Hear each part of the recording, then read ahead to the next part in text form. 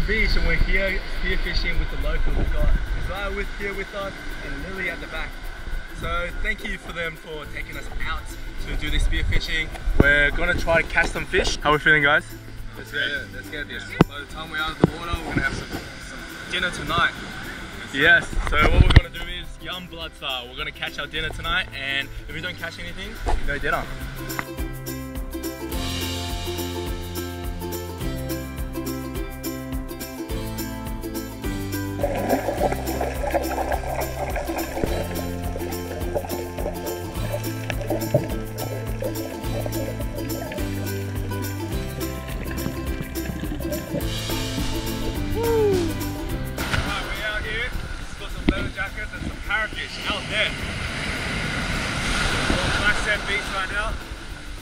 Is known as Hell Beach because look at the size. It's pretty dangerous guys. The waves are strong.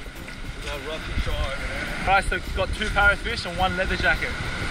Like, Yeah. tell us why this place is called Hell Beach. So Kehena, Kehena's a special place. The reason why we're here, and the reason that we got everything set up here. Um, so we got on either side these rock channels going out. There's a coral reef. and we were out there, we noticed it's a little more shallow on either side. Yeah. Um, this beach takes people every year, man. I've, I've saved a few people here since I've lived out here. Um, I've got friends who've saved multiple people here. It's a wild beach and it comes out of nowhere. Um, the tide changes, the currents change, the swell gets pretty gnarly. Yeah. So appreciate what we have. Definitely not some uh, some friendly little resort beach. It's the real deal here. Yeah. And it goes really deep as soon as you get out. And just getting the waves pushed at you, it kind of like sucks you in as soon as it pushes out. The waves are really strong out here. You got to be careful when you're swimming in these beaches. So why, why these rocks are placed like these? Rock stacking's a huge thing in Hawaii. It's a big thing everywhere, but especially out here, you'll see this anywhere you go. Um, Yeah. These smoothed out rocks are from Pahoehoe, which is the smooth lava. Yeah. Um, after so long in the ocean, the water just washes them down, makes them smooth. Uh, if you see any of this crumbly stuff over here, the stuff that's hard to walk on, that's called a'a. Um, yeah, it's it's pretty wild out here, man. This black sand beach isn't gonna last forever. Usually, black sand beaches have about a hundred year lifespan. Yeah. Oh, really, really. So these black sand is actually from the volcanic eruptions, and then they smoothen out into the white, into the black color. All right, tell us about today's catch. So we went out there, ended up getting these back to back. Red uhu, the parrotfish. Yeah. Apparently the red ones are the female. Is that right? Correct. And then we saw some blue ones before. They're the males. Yeah, the blue ones out there, the males, and then here we have. Um, it's actually a type of surgeon fish. Yep. Um, same family as those uh, hoggies out there, the black ones with the white stripe. Yeah. Um, so we got two things over here. These are poisonous actually. A spike. There's two spikes, one at the top and then one at the bottom.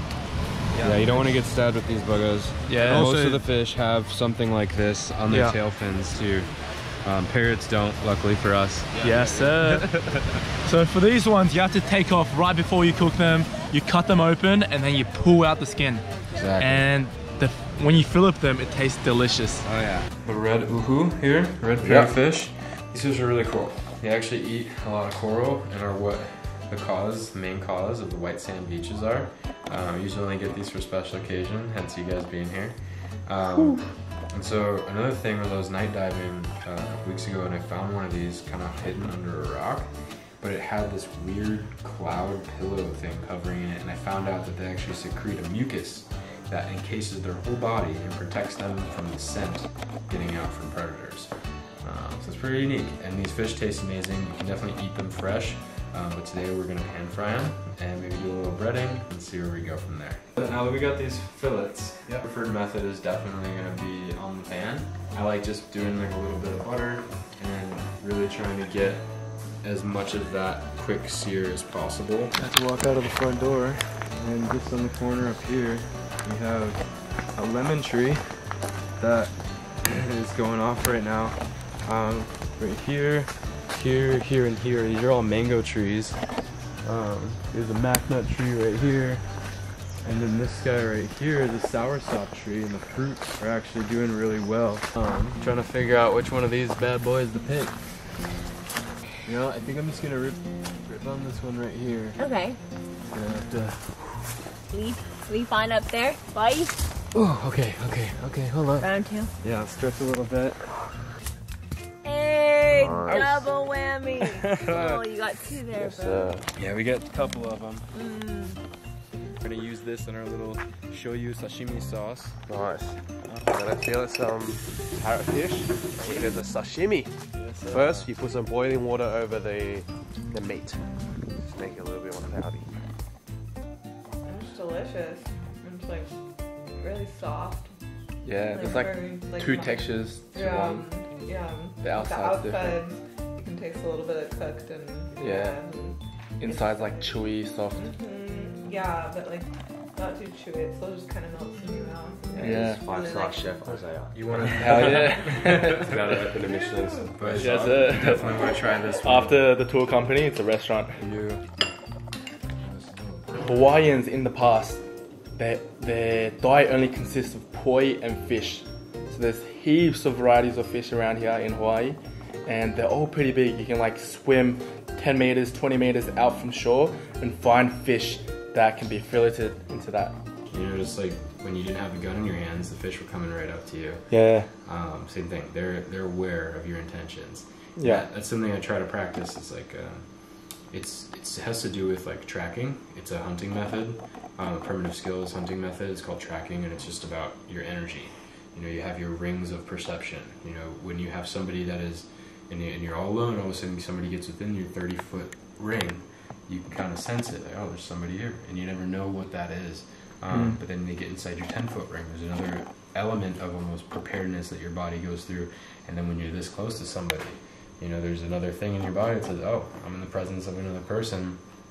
You, you start reacting differently to that. And the whole point of tracking is to bring in your rings of perception so that you can not seem like a predator. Yeah. It's a, it's a skill that other animals use. A lot of it's body language and eyes movement for Mm. fish, especially. Yeah. Um, but when you practice that and you get good at it, then the fish just come right up to you. And then it's not so much you're hunting, you're just kind of Mm. doing what you do. I feel like a lot of the animals, I don't know about fish, but it's about eye contact. Guaranteed. Fish, Eye contact will definitely anything in the ocean. affect it. Yeah. Any- anything in the ocean, eye contact is huge because Yeah. that's only body language that That the fish has. that fish have to to go off of. Mm. You know, if something's swimming in the water and all of a sudden, you know, they Mm. know, oh, he just looked at me, and that's their main source of like a, a response as far as Yeah, body for language sure. goes. Yeah, it's pretty cool.